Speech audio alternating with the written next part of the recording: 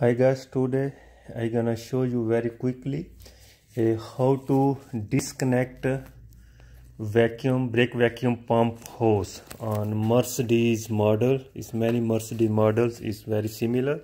So but i have a gl350 2012 so that's the uh, vacuum hose. So and this is the vacuum pump brake vacuum pump and is connected here.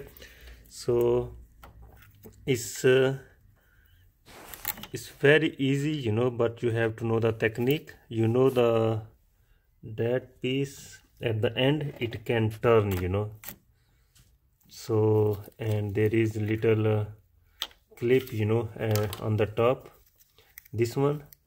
So don't try to push it upward. If you lift it to up it it will it will gonna break. So i already break on the another side. So me too i wasn't know how to disconnect but i don't want you guys make same mistake what i did. You see this side is, is broken.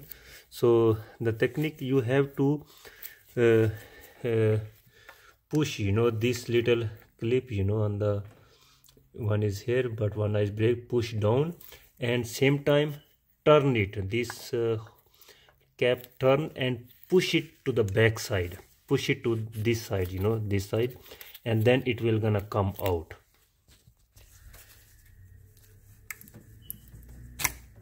You see? So there is rubber o-ring inside and it stay inside. And this side is flat. So there's nothing you know is uh, blocking. But this is the the the parts you know the top one you need to turn it.